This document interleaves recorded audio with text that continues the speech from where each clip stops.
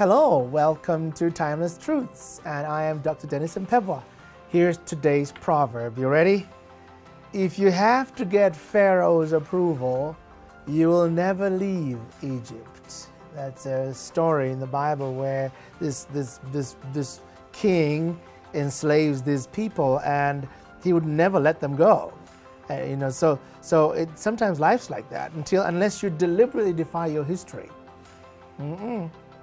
You're going to repeat it. Even worse, you will most certainly be enslaved by it. You have to look at what has enslaved me. What is this that keeps making, keeps enslaving me into repeat these patterns? Why do I keep losing my job? Why do I keep every day? I can't balance my checkbook. I'm just always living under, I'm always living for the next paycheck.